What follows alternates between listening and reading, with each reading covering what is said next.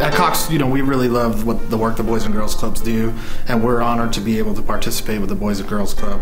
And uh, provide these technology centers powered by Cox High Speed Internet to give uh, kids access to the latest and greatest technology and give them uh, you know a leg up in terms of learning opportunities and opportunities to see the cutting edge of technology. When you're talking about kids programming, you, you need to be innovative. You need to be able to stoke their interests and technology is one of those things that stokes their interest and it's all about learning through fun. So you need to have the tools that will drive the kids in so that we can give them the things that, uh, that we can provide them on a daily basis. With the Cox Innovation Lab, I'll be able to use the computers for my personal needs as well as my homework. I'll have a lot of uh, fun with the computers as well as educational as well because um, sometimes not just me, but also other kids will not always have their phones or their or devices where they could access their homework it would be a lot better. It's a lot more convenient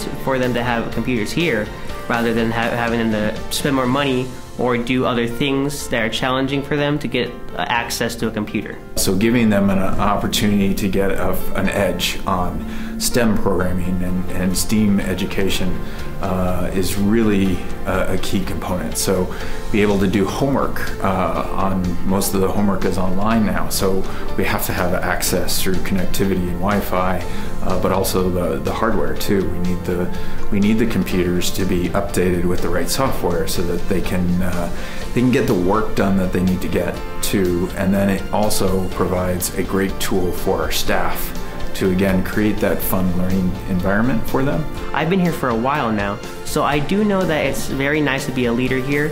A lot of people do respect me, and I think that's nice, but it takes a lot of uh, time for that to happen.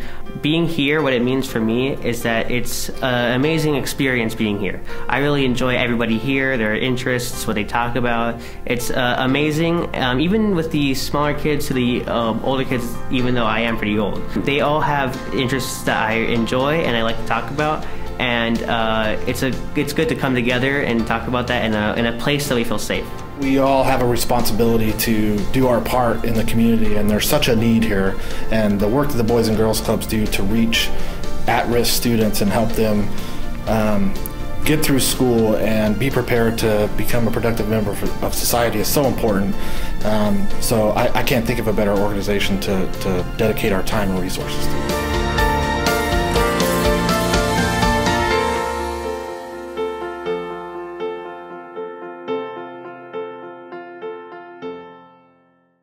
For more community-inspired videos like this one, make sure to subscribe.